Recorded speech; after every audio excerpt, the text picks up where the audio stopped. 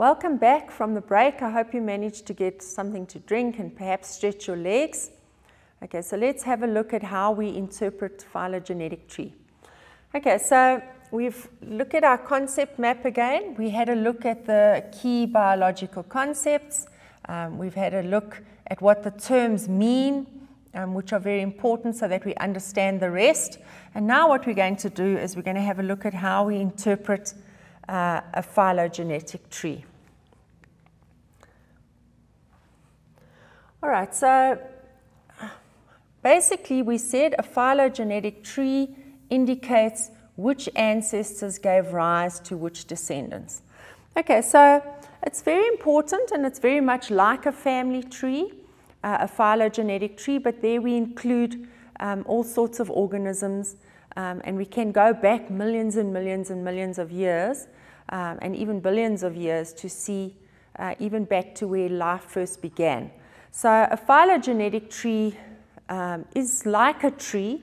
So we start at the bottom, usually at the base, at the roots, and then we move up the stem, and then as the branches, as it branches off, so the species or speciation occurs, and then we, we end up with different species. And we end up with the biodiversity that we know today.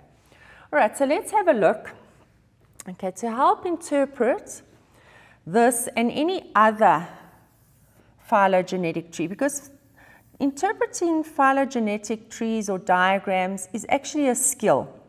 And once you've learned this skill, it doesn't matter which diagram they give you in the exams, um, you know, you would be able to, so it wouldn't really matter what uh, question you are given, what example you are given. If you've learned the skill, then you should be able to answer the question. So that's why it's very important to master the skill of interpreting phylogenetic trees.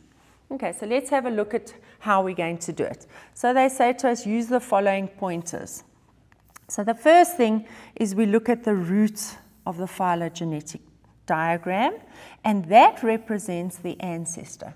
So if we have a look at this diagram over here, we can see this is the root, okay? There we have the ancestor, and if we have a look at the, um, the arrow and the time scale on the side, here we can see we start at the past and we move up towards the more recent um, time. Okay, so that's the root. Um, and then the branches, those are the descendants um, of that ancestor. So they, in other words, came from that ancestor. So as we have a look here, we saw the ancestor and the tree kind of branches out over here and it gives rise to two new uh, descendants. All right, so, and these descendants then, further speciation can take place and we have more descendants forming each time. So when we have a look at um, the common ancestor. So if we have a look at this, we say the common ancestor, he, this person or this individual, this organism was the common ancestor of all of them. However, um, if I say this one here is also a common ancestor, but it's now no longer the common ancestor of species one, okay, because it's now um, branched off. So that now becomes the common ancestor of species 2, 3, and 4. If I go to this point over here and I have a look at the common ancestor, again, it's now no longer the common ancestor of 1 and 2, but it is the common ancestor of 3 and 4. Okay, so that's how we have a look at, uh, or we start looking at an ancestor, for example. Okay, so and when we move upwards um, in the phylogenetic tree, it basically means we are moving forward in time. So we are moving to more towards the present. All right, so now um, we spoke it, or we had a look at the, the, common ancestor, and we had a look at the roots and where um, the, the other species branch off. But now we're going to have a look at speciation. Okay, and we've done, we covered speciation in previous lessons where we saw that when uh, a, a population is split into two and over time they change through natural selection and then become new species. So, so basically what we're doing here is we're having a look, here's our ancestral lineage, so that's the ancestor, and then something happens here, and we call that a speciation event. And that speciation event caused, for some reason, the, this ancestral lineage was split into two groups. Okay, so they were split and they either by a geographic barrier or some kind of reproductive isolating uh, mechanism, and that caused two new daughter lineages. So here we see we've now got two new lines. And over time, because this is time, if we move from the bottom to the top, then we're going from the past and, we find, and we're moving towards the more recent times. Um, and we find that then possibly as we get to the recent times, we would have now two different species. So this would be one and this would be two. Okay, so we could see that they have changed. All right, so speciation is represented as branching of the tree. So a single ancestral population or lineage gives rise to two or sometimes more daughter lines, depending on the, the separation or the speciation event that took place. Okay, so we've had a look at the ancestral population um, and we've seen you know, which, where, how we can have a look and find the common ancestor of various species on our phylogenetic tree. We also had a look and we saw that um, where they actually split, that is caused by what we call speciation events. And we did study speciation in previous lessons, so we know that is where organisms or a population is split into two groups, either by a physical barrier, um, a geographic barrier, or just simply that the organisms become reproductively isolated. And we, we also study those uh, mechanisms. So it can either be that they reproduce at different times of the year or there's courtship behaviors or whatever. Okay, so let's now have a look at um, what each lineage tells us. Okay, so each lineage has a part of its own history that is unique and parts that are shared with other lineages. Okay, and that's, uh, so let's have a look here. So we can see here, um, here's our common ancestor, would be here. Here's our ancestor. And um, they all share, okay, they all share the common ancestor. So this one here.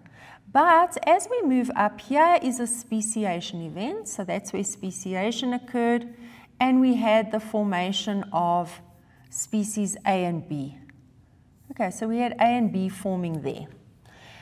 However, as we have a look at this daughter lineage here, we see that there's another speciation event that took place.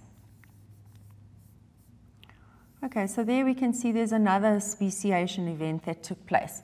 So now we don't only have species A and B, but we also have species C. So let's have a look at what is unique to each and what is shared history. Okay, so if we have a look at the red line here, that is unique history to A. Okay, um, the dotted line here would be shared history of B and C. So in other words, they have a shared history.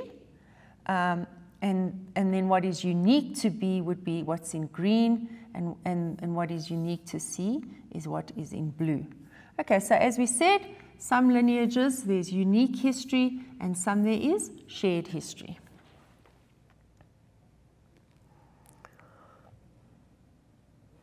All right. Um, okay, so now each lineage has ancestors. Okay, so we already um, established that, that are unique, and then common ancestors that are shared with other lineages. So they have some that are just belong to them and then some that are unique. So if we have a look at the diagram here, again here we have this one is the common ancestor of A, B, and C. So in other words, this was the, the where the speciation event took place and that common ancestor was divided into two groups. Okay, so they split and we ended up with species A, and over here we had the development of another species. And then we see that there was another speciation event, and that common ancestor now was, or the, the species, that second group there was divided into two, and they then became species B and species C. So what is the common ancestor then of species C? So it wouldn't be here. So this is, would be the common ancestor of all three, A, B, and C. This one is the common ancestor of B and C because it's on this line. It's no longer linked to species A. And then this one here would be the common ancestor only of C because this line is no longer linked to species B. Okay.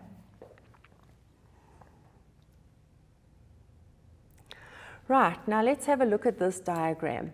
This is an example, um, and it's a simplified summary of the history of hominids. And basically what we have a look here, it's a very nice diagram because we can see there's a common ancestor. We see there are descendants. This is our timeline.